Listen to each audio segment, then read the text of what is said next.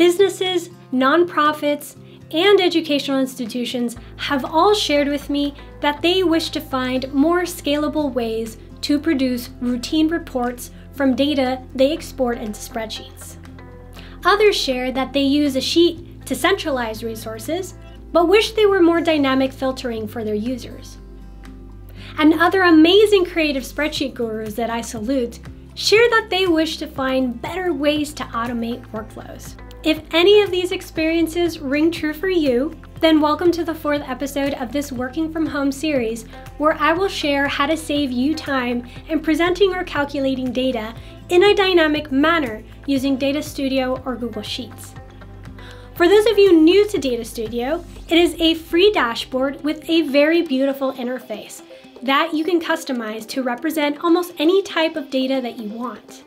You log in with your Google account and select if you would like to connect your dashboard to a sheet, a CSV, a Google product like YouTube or Google Analytics and Ads, or even a third-party tool. It automatically detects your data's sources and you begin to drag and drop tables, charts, filters, and even embed things like videos and images. When you are ready to publish it, you can select who can view it like a Google Doc and share it as a link. You can also schedule a refreshed version of your content to any email aliases of your choice. Now, although spreadsheets are the most familiar interfaces for people to work in, they can become overwhelming as the data grows. And this is why it's nice to be able to filter out the noise in a dashboard. For example, my team and I produce several videos, blogs, and code samples, and to make it easier for people internally, we pasted all this information in a sheet and synced it to a Data Studio report and shared it as a link on our team site. We also embedded a Google form as a link so anyone can add more items to the sheet.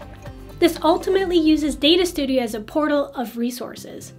And you can do the same with training content to create an external learning hub.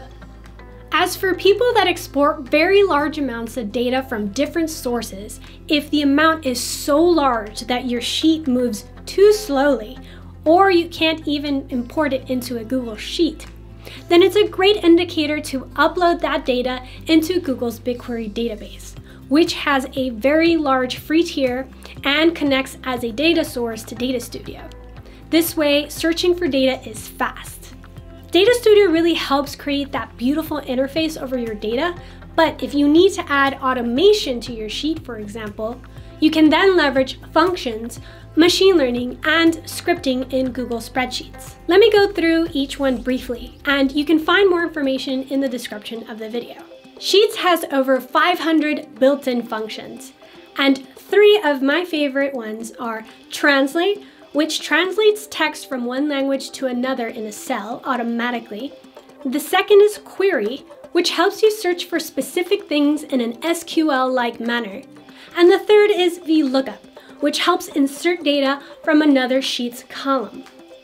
A lot of folks also usually make pivot tables to extract information, um, but with built-in ML models, you can actually ask your sheet for things like how many unique email addresses are there to see if the data is clean. Or you can ask what is the most common product sold. And for common actions like removing duplicates, this is a built-in feature. And finally, you can use Google Apps Script, which is a free scripting language based on JavaScript that creates workflows across Google products. And you can build custom interfaces, sidebars, or execute workflows from a spreadsheet on any device. Some of those workflows include sending emails when a status has changed by using a Google Doc as a template, or performing multiple calculations at once, like finding the average customer's lifetime value. And there you have it, two really powerful tools to present data dynamically. If you're interested in learning more about any of the items I mentioned, I have linked several resources in the description of the video. And if you found this episode helpful, please click like and subscribe for future episodes. Cheers! More scalable, more scalable, scalable, scalable!